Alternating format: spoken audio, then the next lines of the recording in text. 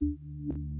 Мы поговорили с главами двух швейцарских компаний с совершенно разными взглядами на проблему неравенства доходов. Александр Бенуна возглавляет часовое отделение компании «Викторинекс». Он не против того, чтобы в его фирме самый большой доход превосходил самый скромный не более чем в 12 раз. Даниэль Мари, шеф фирмы «Визелаб», производящий оптику. Он против такой перспективы. Если рассмотреть структуру заработной платы, то окажется, что у нас это соотношение равно показателю 1 к 7. Если мы добавим премии и бонусы, то получим максимум максимум 1 к 13.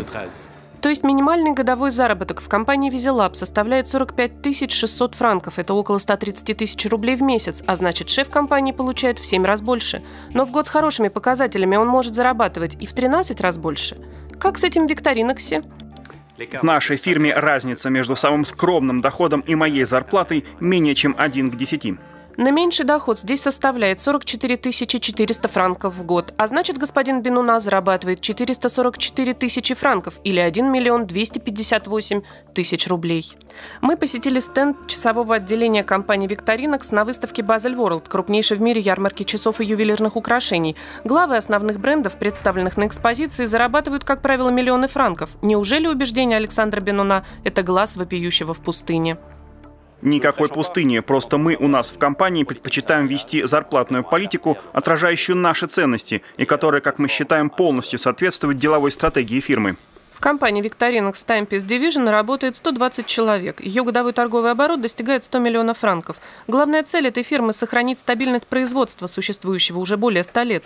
В этой компании в самом деле менеджеры зарабатывают больше простых сотрудников. Однако, по мнению Александра Бенуна, это обстоятельство не уменьшает степень сплоченности трудового коллектива.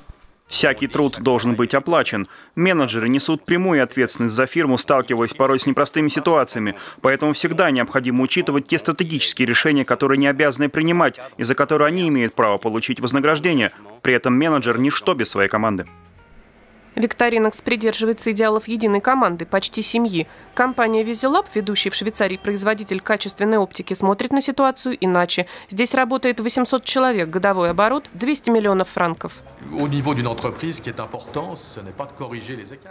Ведя бизнес, важно не заниматься коррекцией заработной платы, но обеспечить позитивную деловую динамику компании. И как раз это и находится в интересах как руководства, так и сотрудников. У нас разработана система поощрительных выплат для каждой категории работников. Кто хорошо поработал, хорошо заработал. А это означает, что если хорошо работают все, то выгода от общего дела также делится на всех. В самом деле заработки обоих руководителей примерно равны. Разница между самым высоким и самым низким доходом фактически не покидает границ соотношения 1 к 10. Тогда почему Даниэль Мари резко выступает против идеи закрепить это соотношение в законе?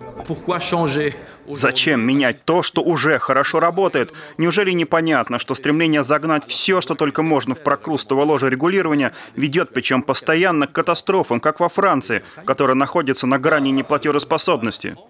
Вот посмотрите, это все есть французское трудовое законодательство. Оно состоит из 8300 статей. А вот то же самое законодательство, но швейцарское, в нем 128 статей. Очевидно же, что выбранное нами в Швейцарии гибкое решение с разумным минимумом ограничений работает очень хорошо. Итак, этих менеджеров скорее разделяют философские соображения, а не экономические.